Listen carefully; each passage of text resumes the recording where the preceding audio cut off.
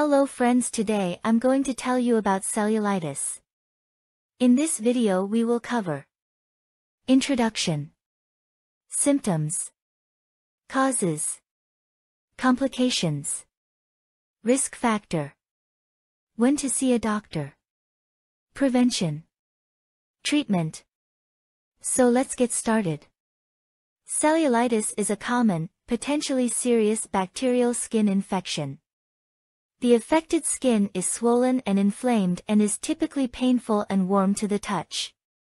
Cellulitis usually affects the lower legs, but it can occur on the face, arms and other areas.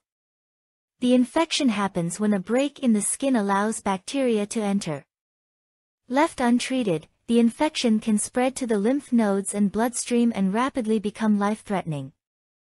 It isn't usually spread from person to person. Symptoms.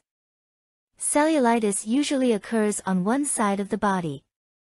Its signs and symptoms may include an irritated area of skin that tends to expand, swelling, tenderness, pain, warmth, fever, chills, spots, blisters, skin dimpling. Causes Cellulitis is caused when bacteria, most commonly Streptococcus and Staphylococcus, enter through a crack or break in the skin. The incidence of a more serious Staphylococcus infection called methicillin-resistant Staphylococcus aureus, MRSA, is increasing. Cellulitis can occur anywhere on the body, but the most common location is the lower leg.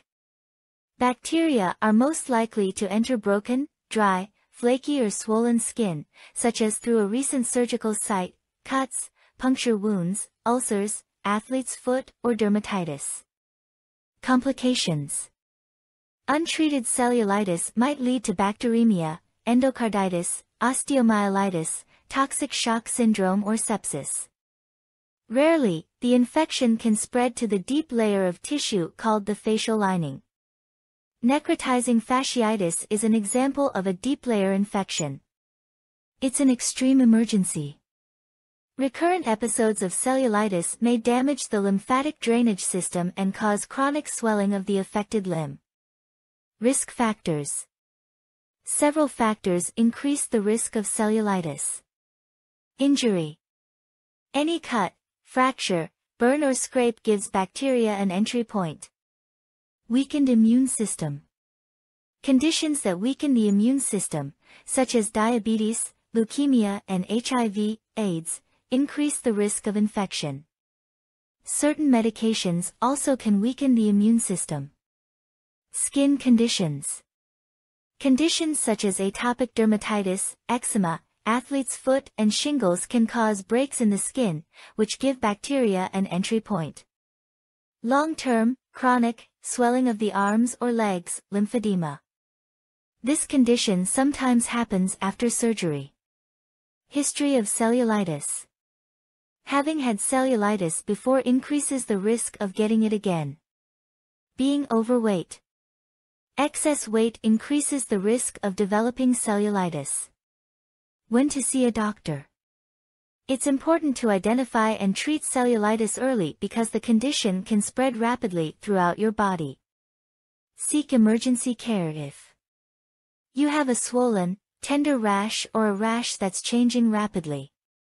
You have a fever. See your healthcare provider, preferably within the same day, if you have a rash that's swollen, tender and warm, and it's expanding, but you don't have a fever. Prevention if your cellulitis recurs, your healthcare provider may recommend preventive antibiotics. To help prevent cellulitis and other infections, take these precautions when you have a skin wound. Wash the wound daily with soap and water. Do this gently as part of your normal bathing. Ask your healthcare provider whether it would help to apply a protective cream or ointment. For most surface wounds, a non-prescription ointment, Vaseline, Polysporin, others, provides adequate protection. Cover the wound with a bandage. Change bandages at least daily. Watch for signs of infection. Irritation, pain and pus all signal possible infection and the need for medical care. People with diabetes or poor circulation need to take extra precautions to prevent skin injury. Good skin care includes the following. Inspecting your feet daily. Regularly check your feet for signs of injury so that you can catch infections early. Moisturizing your skin regularly. Lubricating the skin helps prevent cracking and peeling. Don't apply moisturizer to open sores. Trimming your fingernails and toenails carefully. Take care not to injure the surrounding skin. Protecting your hands and feet. Wear footwear and gloves suitable to your activities.